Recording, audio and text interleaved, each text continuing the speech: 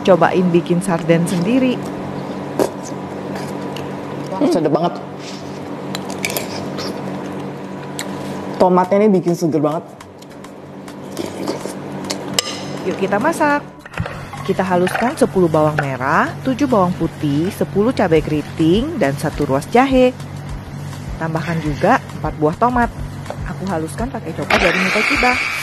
Lalu kita tumis bumbu halus, beri garam, gula, dan penyedap. Tambahkan 5 sendok saus tomat, aduk lalu kita sisihkan. Sekarang kita tumis daun salam, serai, dan lengkuas. Tambahkan 5 bawang merah dan 3 bawang putih yang sudah diiris, setengah bawang bombay.